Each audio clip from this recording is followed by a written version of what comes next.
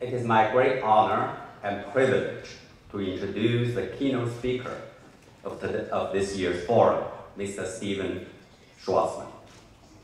I first met Steve several years ago at Harvard Business School's Board of Dean's Advisors meeting when we both served on that board.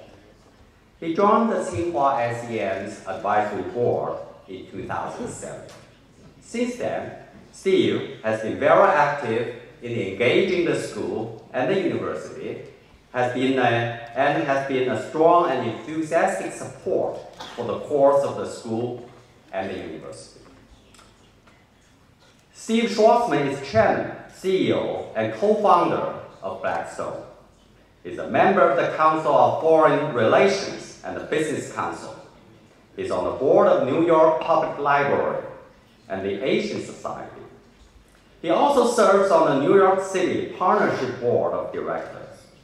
He's a trustee of the Frick Collection in New York City and chairman emeritus of the board of the John F. Kennedy Center for the Performing Arts. Steve holds a BA from Yale University and an MBA from Harvard Business School. He was awarded the Legion of Honor of France in 2007 and was promoted to officier, to officer by President Sarkozy in 2010. Ladies and gentlemen, please join me in welcoming Mr. Steve Schwarzman to the podium to deliver the keynote speech for the 2012 Tsinghua Management Global Forum. Uh, we have uh, approximately 200 billion of assets under management, but in terms of our number of companies, uh, we own uh, uh, 75 companies with uh, roughly $120 billion in revenue and 700,000 people working at our companies. And we're also one of the largest owners of real estate in, in the world as well. So, so we get to see, we've got 25 offices spread around the world. Uh, so every week when we review what's going on uh, with new potential transactions, uh, as well as what we own, we get a really good feel uh, of, of what's happening. Uh, and to, to think about the global economy, you first have to be thinking about China. Uh, because as you well know, China over the last 10 years has been dragging almost everyone in the world along with them. Uh, it's one of the most impressive uh, performances of any large economy uh, in the history of mankind. and one way to think about a model of the world isn't just China alone, but China is really dragging uh, uh, the emerging markets uh, along with it. as, as you know from the statistics that, that China has been consuming uh, up to 50% uh, of certain commodities, and it's created a huge commodity boom uh, in everything from oil to copper to fertilizer. It's an endless list. and what's happened is if you drew a line from China to its suppliers uh, all around the world, those suppliers uh, have also gone through a complete renaissance. Uh, uh, in their world. Uh, it's just starting in uh, Latin America. If you go to Colombia, uh, uh, Peru, Chile, Brazil, they're all selling very large amounts of uh, natural resources, whether they're uh, copper or iron ore, uh, to China. And as a result of that, every one of those countries has gone through a huge boom. Uh, you can see it uh, also uh, in Africa. You can see it through the Middle East in terms of the level of um, uh, oil prices. As, as you know, just trying to get around Beijing, it's really, uh, uh, really an adventure. You, you, never know when you're going to get any place because there's so many cars, so much traffic. when I came here in 1990, uh, you almost couldn't find a car. Everybody was on bicycles. Uh, and they had roads, but it was sort of a mystery. Why did you need these ring roads? Because there was nobody on them. now, of course, uh, it's a complete transformation, and that's been absorbing enormous amounts of, uh, uh, of oil. So countries like Russia have benefited from that. Uh, Norway uh, has benefited from that. Canada, uh, with all its resources that it, also uh, sends to China, uh, benefits uh, from it. And of course, the countries in Asia, from Australia with iron ore and other products to virtually every country uh, is going through a renaissance in large part uh, because of their relationship uh, economically with China and then their middle class developing as a result of the prosperity which then creates a virtuous circle. So what happens with China is not just about China. Uh, it's got implications that if you could imagine a world where China ever went into recession, besides whatever instability it would uh, cause in China, uh, that uh, would have ripples in these other countries as well. So in terms of the focus, what happens in China is a uh, really uh, exceptionally important element uh, for global growth. And, and China's clearly uh, slowed, as, as has the entire world.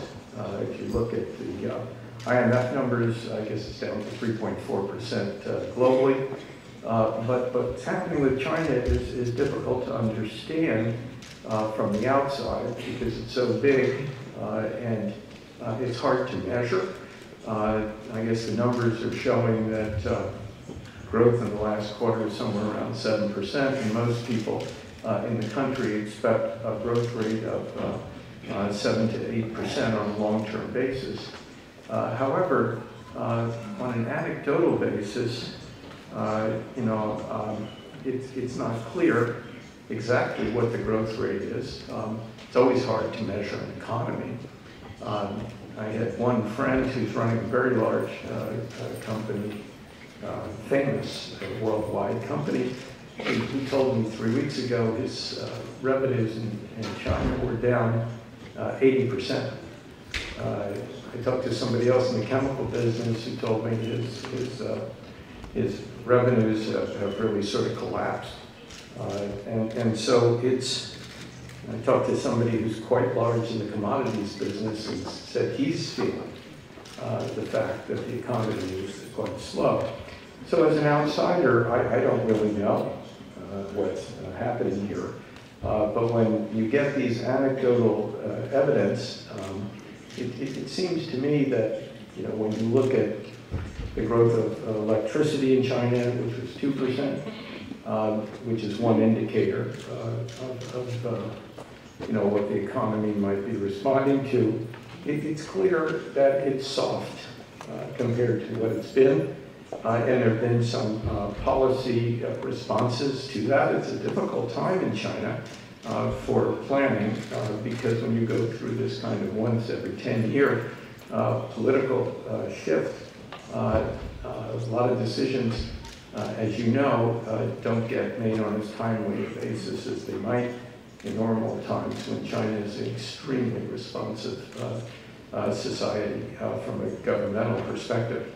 So I think we have to look at China probably as if it's more or less hit bottom. there have been some policy responses. Uh, and with the formation of a new government, uh, my uh, instinct uh, is that China's going to get stronger. Uh, and that, that may surprise uh, a number of people uh, around the world. I see the Chinese as being extremely adapt adaptive, smart, clever, willful, and um, I don't believe uh, that um, the downward trends um, that we've experienced are going to stay that way uh, for very long at all. It's, it's just not in the nature of the culture to allow that to persist. So I can see that increasing. Now, that will also affect those emerging markets, which all of them uh, have uh, slowed down. I was in Colombia, um, I guess it was three weeks ago, uh, and, and, they went uh, down by several percent in terms of their growth. Uh, and we can see that happening in virtually all of the emerging markets. Even Brazil had a quarter, second quarter, they had no growth. Uh, that, that's sort of an amazing thing. They've lowered their interest rates, they're going to turn around. So I, I see uh, sort of a cyclical upturn coming uh, based on uh, a resurgence um, of, of, of China. Um, won't necessarily occur in the next month, uh, but I think when you're looking out over the next year or two, uh, you'll see that. Uh, Europe is a fascinating place. Uh, uh, it's far away from, from China, but geez, you, it, it, dominates the news. Uh, and I, have seldom seen such a mess. and it's got structural issues. Um, the EU, as you know, has 17 countries. Uh, that are trying to make uh, uh, policy at the same time. Imagine you have 17 heads of state, 17 legislatures, typically with an upper house and a lower house, and, and, and 17 judicial systems, all trying at the same moment uh, to make decisions on a timely basis. There are so many issues uh, that are facing uh, Europe uh, the first is that most countries have a, pretty bad deficit uh, situation, uh, which needs to be addressed. Um, and they unfortunately have typically weak banking systems. and it's, it's compounded uh, by, the, by the fact that there was a, a, a, a regulation uh, promulgated in Europe called Basel III. And if you don't know about Basel III, I'll tell you a little bit about it. Uh, Basel III was the response uh, to the Western uh, financial uh, uh, turmoil. And, and, basically, the presidents of the heads of state at, at, the G20 in Pittsburgh decided that they would make the banking system globally much safer by doubling the amount of capital, uh, doubling the amount of equity. Now imagine a, a, a sort of a simple mathematical um, problem uh, of this type. Uh, if you want to double your equity capital, uh, how do you do it? Uh, well, one, one, way to do it is that you sell more stock uh, and, and, issue securities to increase your, um, your equity. Uh, but, but the problem with doing that is that if people don't trust your financial statements, uh, they, they won't buy the stock. Uh, the second thing is you could cut your dividend uh, a little bit, but it doesn't save much money. Uh, so how do you uh, double your equity? Well, the way you do it mathematically is that you shrink your total assets in half. now, this sounds like an odd prescription uh, for the world. Uh, can you imagine uh, if you shrunk uh, the size of ICBC in half, uh, what that would do, as well as you, your other large banks in China? Somehow you wouldn't be able to grow because nobody could get credit. Uh, because the rule of, of, growth is that, that global growth uh, is correlated almost one-to-one with credit extension. So what the heads of state did in Pittsburgh is they basically doomed uh, the um, Western world to either slow growth or no growth uh, by, by voluntarily shrinking its system. Now they, they, they basically tried to do this uh, by scheduling out uh, the uh, the timing when, when that had to be done. Because if it happened in one year, it would be uh, uh, very uh, uh, and, and so they basically announced that they would, you, you didn't have to comply until 2018. But the problem with that is that the markets looked at this, and imagine if you were listening closely and you were in the financial world and the heads of the central banks announced that the banking system actually uh, wasn't in good shape, it was in terrible shape, and to be safe, you had to double your equity. Well, you know, nobody likes unsafe uh, financial institutions. Uh, and, and what you do is you'd say, well, geez, who's the safest? I, I don't want to wait till 2018 for the weakest institution uh, to be in good shape. Who's the strongest? I'll give them my money and I'll deny my money to the weak ones. So what happened is that this whole Basel III plan to wait till 2018 more or less collapsed. Uh, the regulations are still in place, uh, but the markets has rationed capital uh, and has punished uh, a lot of the weaker European uh, institutions. Uh, and I, I go on at some length about this because the only way out of the European problem is you can cut your costs, but you have to grow uh, to, to increase your revenue. You just can't keep increasing taxes on your population. Uh, that's not the right way to go. So, so what's happening in Europe now is they're trying to deal with their deficits. They're having enormous difficulty growing. Uh, the Basel III regulations are still more or less uh, uh, intact, and they've got themselves in, in, a situation where it's extremely difficult uh, for them to prosper. All of this is around preserving the euro, uh, which is their common currency. Uh, for those of you who don't have a chance to spend time in Europe, and I, I spent six months last year living in, in France, which was a very interesting experience. Uh, great country, uh, uh, for sure. Uh, uh, that that um, uh, it's it's very difficult to understand the commitment to the euro. It's it's almost a religious commitment for the people involved. It's not an economic concept. It it means something different to the Europeans, except the British, who opted out of it. But it's, it's an astonishing uh, commitment. So all of these uh, uh, uh, op-ed writers and other people who talk about the euro, euro collapsing and so forth, it may mathematically have great difficulty, but the commitment of the leadership of these countries to the euro is frankly astonishing. Uh, it's almost not rational. Uh, it is rational for them, but it's it's something not to be underestimated. So as you look at the uh, uh, trends for the world economy, it, it's, it's very difficult to make the truly positive case uh, for Europe over the next several years, given all the issues of integration uh, that they're going to have to do, um, uh, and, and, they're doing it in, in, a way that's really hard. The Germans, which is the richest country, take the position uh, that they're prepared to support financially the reforms that are necessary in Europe as long as the individual countries uh, reform themselves first. So it's almost like somebody who's prepared to give a guarantee when it's not needed. Uh, because if everybody kept their hand out and said, give me some money, uh, the Germans would have to keep giving it.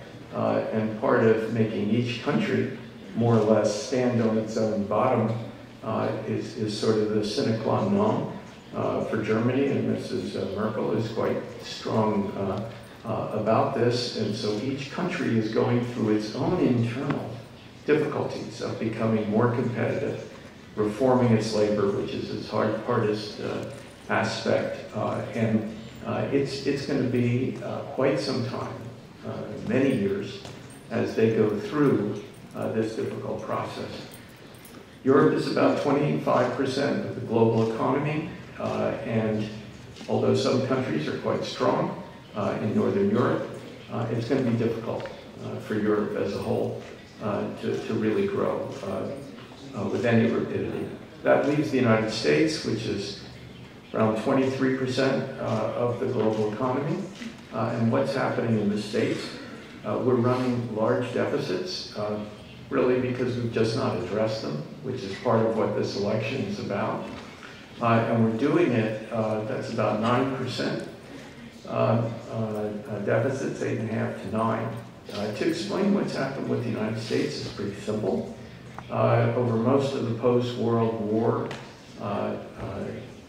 period, we've run a federal budget that took in about 18% of GDP in taxes and we spent around 20% uh, uh, in, in programs. What's happened over the last 10 years is, is that we're now spending 25% of GDP instead of 20. And uh, in the Bush era, they cut uh, taxes. Uh, so now taxes are only bringing in around 15.5% uh, of GDP and revenue, uh, down from 18. And so the debate that you see or hear in the media uh, is about what should we be doing with taxes and, and what should we be doing with spending. If you wanted to get back to where you were, it's pretty simple math. You have to decrease uh, by 5% spending. And a lot of that are what's called entitlements, and once you give somebody something, they hate to give it up.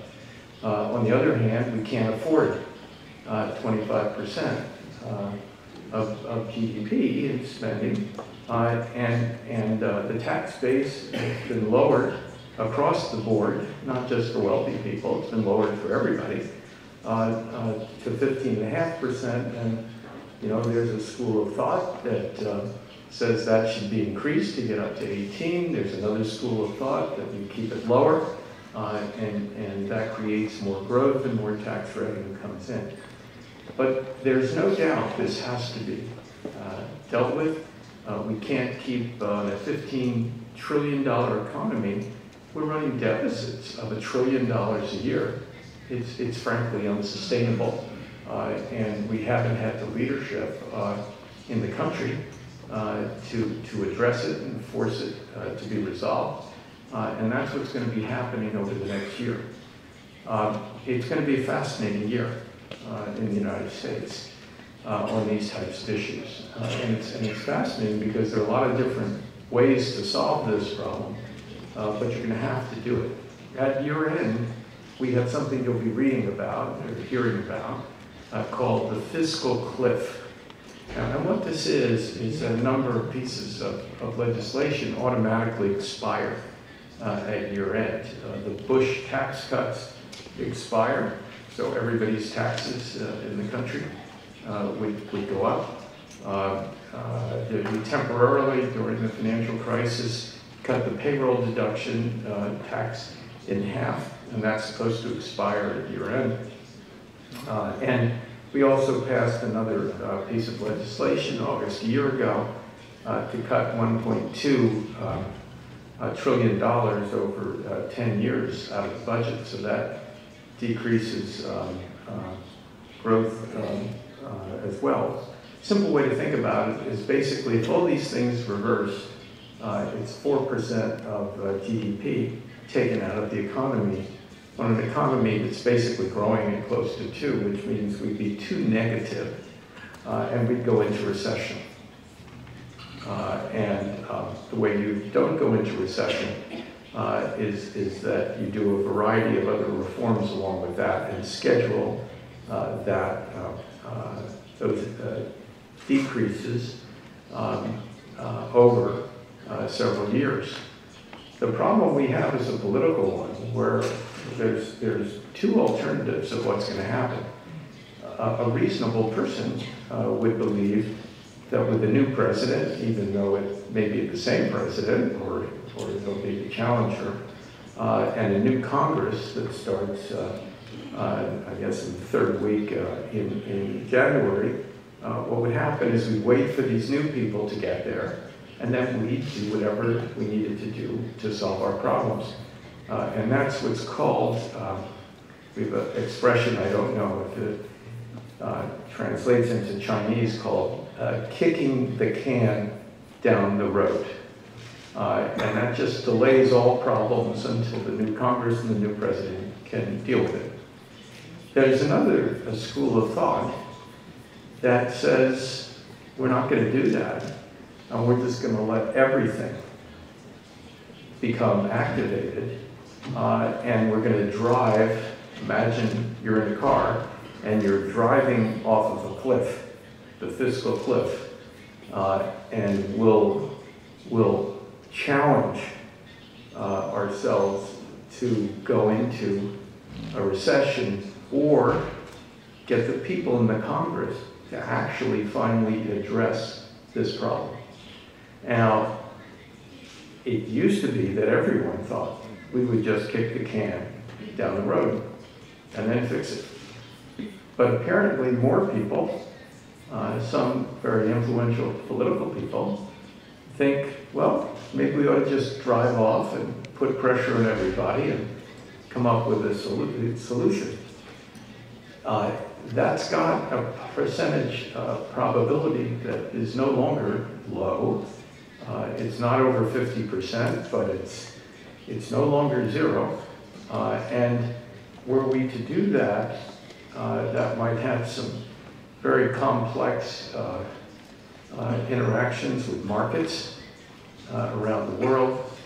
It, it might uh, affect confidence in the United States, which could have other implications as you're waiting to solve these problems that frankly require long negotiations to do it. So that's a real overhang. Uh, absent that, we have a relatively slow-growing economy uh, that no one in the, the states basically thinks will put us in recession um, uh, because we're going through a period where we're waiting to see what happens. We have enormous liquidity uh, in the United States. The banking system is in uh, excellent shape. Uh, corporations have two and a half trillion dollars of cash doing nothing with it except waiting around to figure out what's going to happen with this election, uh, both with the members of Congress uh, and the president. There is a theory of the case that if we have a change in government uh, and we have a much more pro-business uh, environment, which would be a Romney uh, environment, uh, eliminate a lot of regulations that are planned to be coming in that have questionable utility uh, and uh, unleash a positive spirit uh, in the business community, which has been more or less frustrated uh, over the last four years, uh, solve our deficit issues, you could have uh, increases in GDP. Uh, my own uh, estimate on that would be somewhere between 150 and 200 basis points.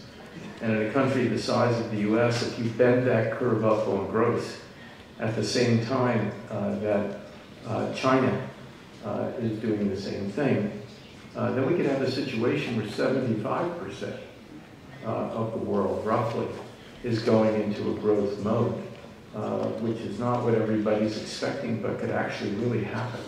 And it doesn't take that much. It takes decisions of relatively small numbers of, of, of people in those two governments to allow that to happen. Uh, so as we look around the world, there's a more gloomy scenario. Uh, I happen uh, to believe if we have the right kind of, uh, political changes, uh, that uh, we'll actually have the more cheerful scenario. And it's one that we really need.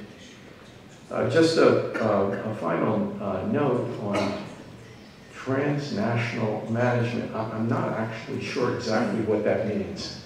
Uh, You know, it's not a word we typically use in, in English. Um, In, in, in- in the, in the world you live in, for example, uh, the educational world, there are enormous, enormous changes uh, that are coming your way.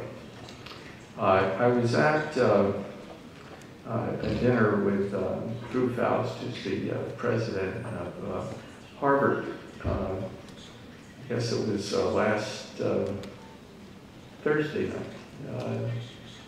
No, it was Tues- Tuesday night. And I was sitting at a table with a number of uh, very well-known professors, and what they were talking about was almost, uh, was, really quite fascinating. Um, it was the impact of the internet uh, on uh, education, not just the United States, but globally. And um, uh, when I went to school, we, we, we didn't have videos. Uh, we had a professor in the classroom. Uh, we didn't have iPads or Samsung devices. We, we, we just had somebody talking to us, uh, and, and we took notes. And then at the end of the term, somebody would ask us some questions, and we'd give them an answer. Um, that was it. Uh, occasionally, we'd have a smaller class where we talked. uh, among ourselves, uh, with a professor correcting it. And that was education. Education now, uh, with videos, uh, interactive video. um, and the ability to transfer knowledge from one part of the world to another instantaneously is going to lead to enormous paradigm shifts uh, in education. Uh, one, of, one of the things um, that people were talking about is that I guess it's Harvard, MIT, and, and Stanford uh, who have some of the best uh, educational pedigrees uh, in the world uh, are, are, talking about um, coming together and sharing uh, uh, courses, putting them on the internet, so that everybody in the world, you know, when I was young, going to Harvard going to Yale, well, this was like an aspirational goal that was so powerful. It was your passport. Education is the passport to a really good life. Um, and and you, you fight like, you know, like heck to, to position yourself to get into a great school like Tsinghua uh, or a great school like Yale, because it, it, would transform you and you get the educational experience, you, you learn the values and so forth. Well now, uh, pretty soon, you're going to be able to just like pull it up on your iPad uh, and there, there will be this wonderful professor that you've never seen, you'll never meet, who will give you the Harvard experience. Um, what an amazing, amazing thing uh, that, that this will be. And I'm on the board of the New York Public Library, and one of the things people were talking about over the last five to 10 years is the obsolescence of libraries. Who needs them, right? Who needs them? You can get everything you want, uh, you know, on the internet. As it works out, the attendance of the library system has been going up, uh, not down. It's sort of like the, the uh, problem where the internet is going to completely destroy shopping malls, and people still go to them, and and they don't get the same percentage share uh, that, that they uh, be getting without the internet, but they're doing fine, uh, those, those businesses. And the education area, uh, what happened uh, with, the, with, the, with, with, with the internet, with education, with the library, is what they're finding is different library systems are combining, uh, you're putting some stuff on Google together so that the user, instead of just having this one library, has a lot of libraries on a system. It's better for the user.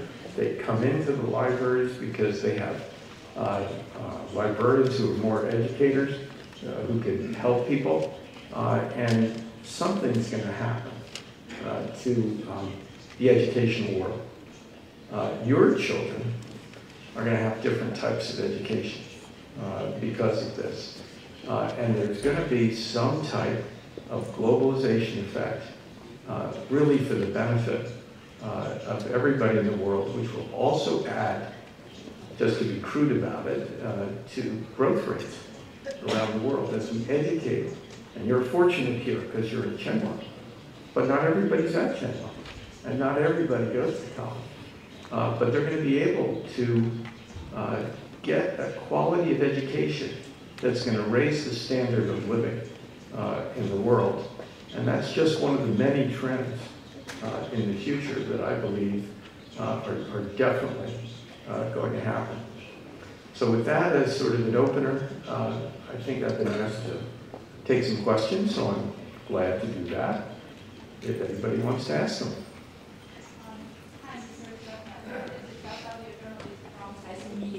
So my question is, um, I like the exit strategies in US in the past several years, most of the PE investments in China always exit the project via IPO.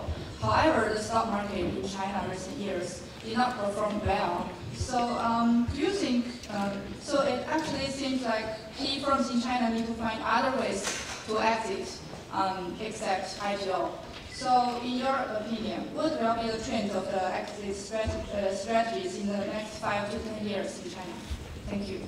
Uh, I had a little trouble hearing that for whatever the reason. Uh, maybe my ears, maybe just the amplification. You, you were talking about exits Yeah, on. the uh, exit strategies in China for the PE firms. The PE firms in China always exit the project via IPO for Right. the past several years. Yes, well, However, yeah, the international trend is not I, like this. I understand the question. Thank you. Um, uh, One of our businesses that we're in is the private equity business. Uh, You know, we're actually in seven different business lines. Uh, uh, You know, private equity, real estate, credit, hedge funds, uh, advisory businesses of different types, and and also a money-raising business.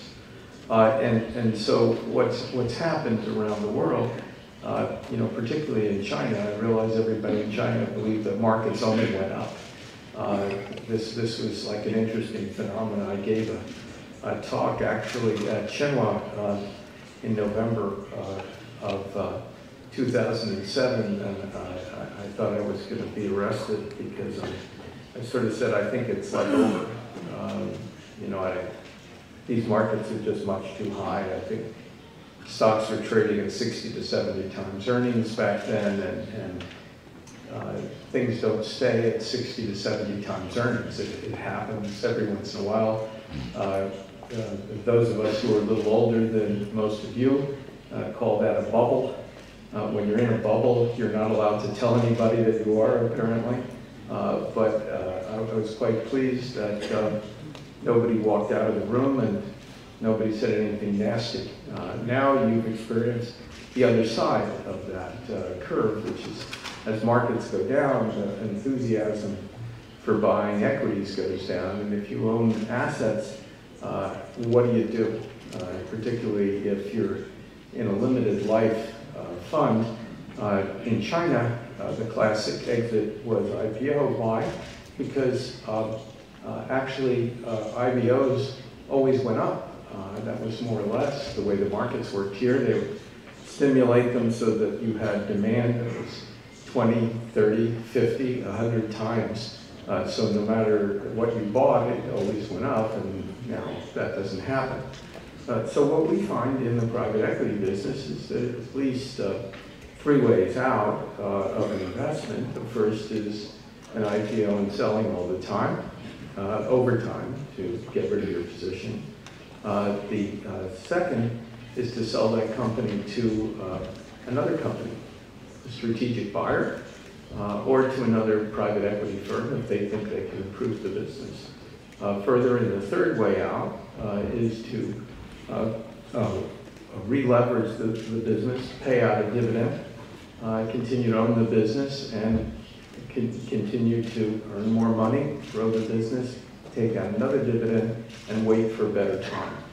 So I think you have to look at, at, at those three to four routes uh, out of an investment. Most important thing in the private equity business is continuing to invest in that company to make it absolutely as good as you can with the fastest growth uh, that you can do. And what you find is that if you have a wonderful company growing very quickly, someone will buy it from you. Next question. Um, my question is also related to private equity business. Um, so private equity industry in China is booming. Last year, $50 billion were raised for private equity investment. What are your recommendations to the private equity industry to make sure that uh, such amount of capital is deployed in the most econo- economically efficient manner? You, you lost me on that. Somebody can. I- I'm- I would like to hear your recommendation to private equity professionals about how they can make sure the capital they deploy is deployed in the most economically efficient manner. that, that money is uh, deployed in the most efficient manner? Yes. Uh, Well, we, we have a lot of CEOs in these first two rows here. Uh, And, and, and they, they can answer this uh, uh, at, at least as, as well as, as I can. Uh, um, That, what, what we all look at is trying to identify uh, growth areas where we can make the highest returns uh, on capital employed. It's sort of a global rule. And, and if you do that, um, you, you'll make a lot of money. Uh, and it's just fundamental.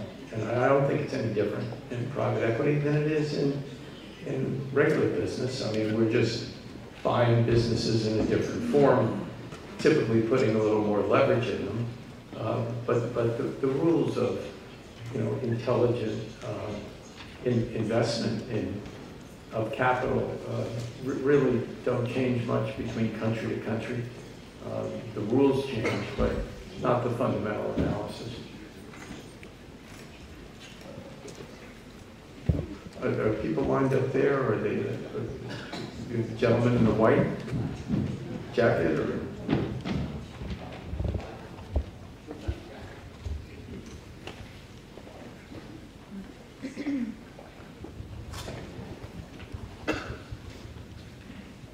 Uh, outside of the economic and management field. My major is computer science, automatic control, another field by physics.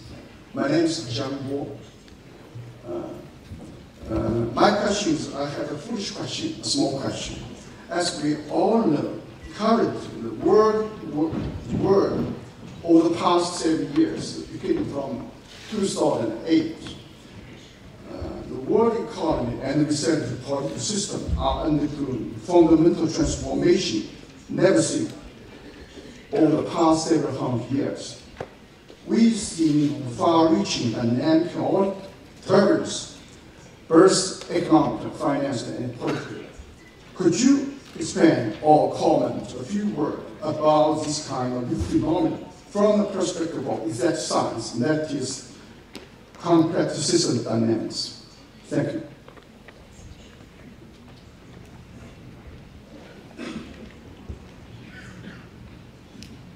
Well, I think uh, uh, the, the, the world's uh, accelerating change. And accelerating change uh, because of uh, uh, globalization uh, as well as um, uh, communications. Uh, and we're, seeing that um, everywhere. If you just take markets for a moment, um, it used to be when I joined the business, I, I- know you would find this almost like, like uh, an observation from the Middle Ages. That, that when I, I joined the business, there were no uh, databases. Uh, and when we had to do a financial analysis, we would go to the basement of our building. I worked at Lehman Brothers, of blessed memory. Uh, and go down, they had newspapers from a hundred years. And you would go and you would open the newspaper to do an analysis, and uh, you'd go to the end of the month and, and look at the stock in the newspaper and you'd write down what that would be. Uh, and you'd, you'd come home at night, you know, covered with newsprint, uh, and your wife, you know, would say, well, what did you do? And you said, I was in the basement looking through newspapers. Uh, and, and now that analysis can be done by just hitting uh, one key, uh, and you get all those answers like that. And that shows you just one odd example uh, of, of what's happened uh, with productivity, white collar productivity, um, over, over 40 years. Uh, and um, we're finding that that's happening everywhere um, uh, as a result of uh, uh, the electronics, and it's happening in markets uh, as well.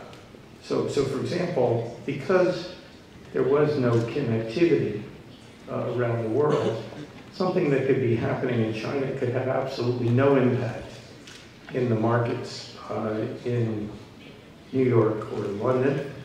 Uh, it would take a long time for anything would uh, uh, to be known to other people. There were huge discontinuities.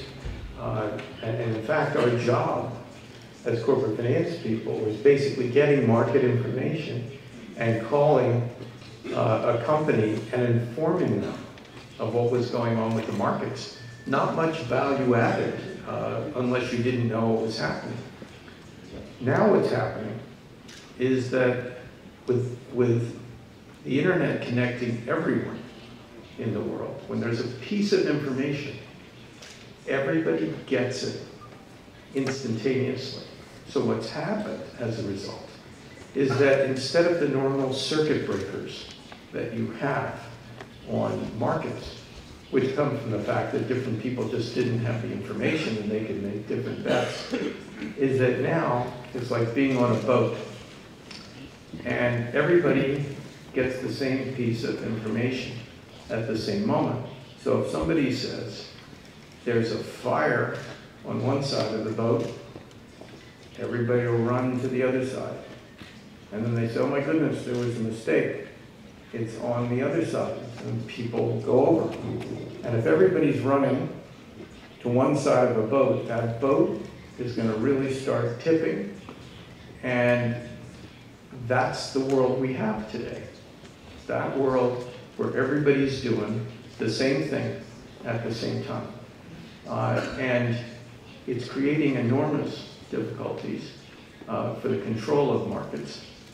Uh, it's, it's also creating this globalization, is, is creating real difficulties. China has been the net winner uh, in globalization. Uh, from the base where you started, uh, the work ethic, uh, the cost of labor, you know, good policies, has created an enormous increase in wealth in the country. But but not everyone has benefited in the same way.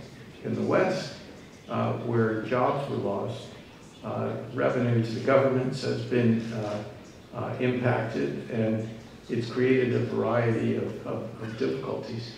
So we, have got some real challenges uh, in the modern world uh, that to have to work our way through. and, and this question you asked of what's, what's the model, what's the change, I think uh, we're all um, uh, struggling with that a bit. It, there's no instant answer except wealth globally has, has gone up. Uh, but, but there have been real winners and losers uh, uh, in, in, in, that arena. I don't know when we're supposed to end or not end. Tell me whatever you'd like. Sir? Uh, Mr. Schwarzman, thank you for your thoughts. Uh, it's my dog. Can you hear me? Not loud enough? Yeah, it's better. Yeah. Um, so you've spoken a lot about the global macro factors facing, you know, Australia, South America, and also the impending fiscal cliff. But uh, this is the obligatory student question, right? So for a graduate going into this environment, what is the opportunity? What are the areas of growth that we could potentially look at from either an uh, investment or industry standpoint? Thanks. You know, um, the, um, the, the, areas of, uh, of opportunity for individuals and countries are, are, are, are different. Um, I, I, think just some simple uh, advice, if you find something that's very heavily regulated, stay away from it. Um, uh, some of the greatest uh, problems have been created uh, in those industries by the combination of both managers and regulators. Uh, you know, for example, in the in the West, uh, almost the only companies that collapsed were regulated ones. I don't know what that says, uh, but it doesn't say something good uh, for for regulation as a concept, or if not as a concept, and in, in terms of its application. Um, I, I, th I, think um, there are a variety of industries that are terrific. Uh, uh, the whole technology area uh, is, is, is almost like magic, uh, where uh, you, you can, you know, and, and, and, and, technology cycles in terms of the type of, of uh, uh, uh, products that are of interest from, from hardware to software. the, the whole social media area, for example, I mean, you spend a few million dollars and, and, and you can create Google. Um, or not just Google, there's a whole array uh, of companies uh, that have been uh, created. Now, usually what happens is by the time somebody like me can comment on, on it, it's already yesterday's news. Uh, and there's some other uh, area in, in, in, that kind of field. Uh, I think also energy is like really interesting. Um, the, the world's got enormous needs for energy. It's got needs for clean energy and um, uh, as well as uh, you know, fossil fuel energy. Uh, and if the world's going to keep growing, even if the growth rate's going to be a little slower uh, over the next 10 years, um, it's, it's, it's an immense area. another opportunity as, as I go around uh, the world is that uh, there are a number of very rich countries that are suffering uh, and are desperate to get people who are experienced in management who are willing to live in those countries. Uh, and uh, there's very good, uh, good opportunities for personal development, wealth creation, if you're willing to, to go to places somebody might not go to uh, where you've had some experience uh, as, as a manager, uh, it's, it's, it's an opportunity that's just sitting there. It, it doesn't have to be, uh, you know, uh, in, in a really unattractive place either. Uh, it's just a different place. so I think those are, you know, I, I, can go on for a long time about areas that I think will, um, will, will do well.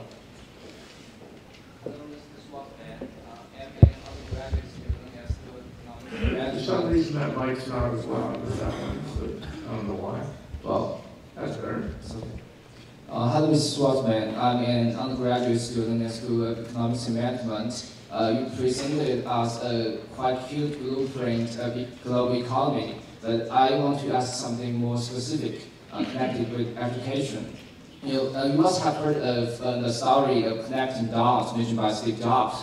So uh, did you learn something that seemed quite, maybe quite useless at that time, but turned out very meaningful? Or to generalize it, what, what is your opinion of general education, especially for students like me who choose to major in economics or finance?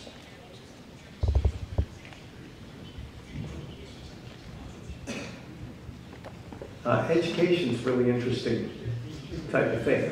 Uh, if you're not educated, uh, you can still make a living, but you got to be enormously clever. Uh, and it, it's happened. You know, great fortunes have been made by people who are not uh, well educated. Uh, but, but, but education itself is just one step on the road uh, to uh, success. and it's, it's useful to study something that might have direct, direct application. Uh, but it's actually uh, uh, extremely important to, to go to a place that encourages education in the future. In other words, in, in our business, it's, it's a lifetime education. I'm still learning. Every time we make a decision, it's challenging. Uh, you're dealing with a lot of complexity, uh, and, and uh, you, you, don't declare victory when you get a diploma. That's, that's not victory. That's victory that you managed to graduate. But, but it's, not, um, uh, it, it's not an end in itself. Uh, and it's really about uh, discipline, uh, energy, uh, understanding what people are saying, and meaning not just what they say. Uh, and it's a commitment uh, uh, to working really hard. People who become successful, it tends not to be an accident.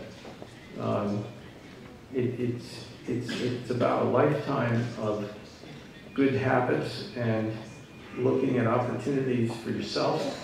Uh, and, and so what you study, ironically, uh, and this is more of a Western uh, view than perhaps a Chinese view, uh, what, what you study isn't as important as how well you do. Uh, because if you get an interesting job uh, and you learn from that and you try something else, uh, eventually you will find your way. And one other piece of advice I'd give you is do something you love. Uh, if you don't do something you, you, you, love, then it's work. If you do something uh, you love, it's like amusement. Uh, and you work much better when you're amused than when somebody's telling you to work. And, and again, that may be a Western uh, concept, and if it's if it doesn't work for you, you can always start your own business and amuse yourself. Um, final question, I think somebody held up. Mr. Su. I think we were next, I'm sorry. Um, I'm, my name is Shelley Carabell, and I'm from the INSEAD Business School. We're an educational partner of Tsinghua. In fact, our executive master's program was just ranked number four by the Financial Times. Um, this is a question for our knowledge portal. I'm curious to, to know what you meant, after, you had some disappointing second quarter earnings, and you said that, that you would have to continue to innovate ways to add value, that these were tough times for alternative asset managers.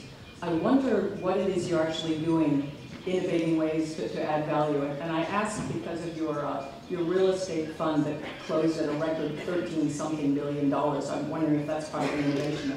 Can you just elaborate on how you're innovating?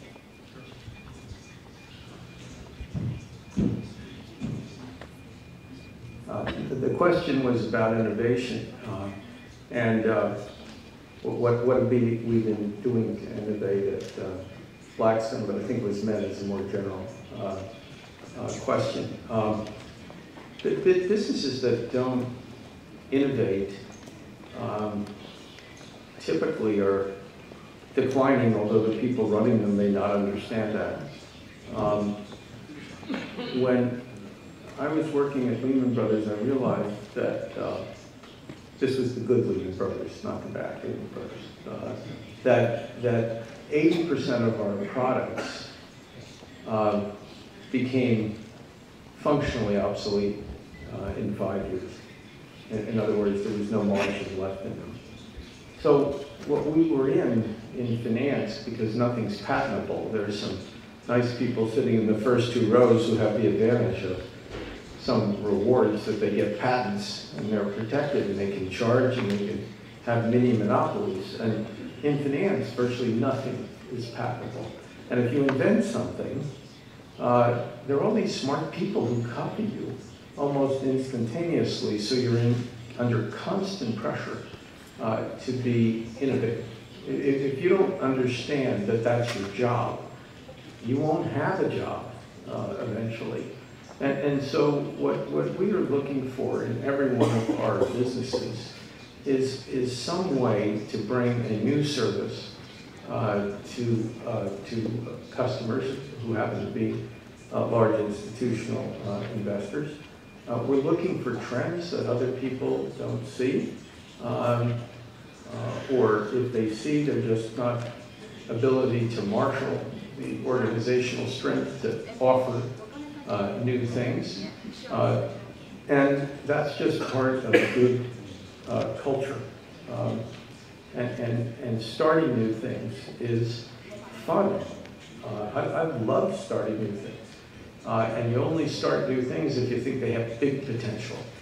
Uh, and what happens when you do that uh, is that then your own people are excited because younger people get a chance to run something else. And it's a virtuous uh, circle. It's good for clients. Uh, it's, it's good for the, for the firm. It's good for the younger people to get experience. Uh, and uh, innovation in finance is, is absolutely um, non-optional. And once you teach everybody at the firm that, that that's the only way, then they look for those discontinuities where they could start something uh, that's good. So I think, I think I'm getting uh, the hook. That's what we normally call it. Thank you.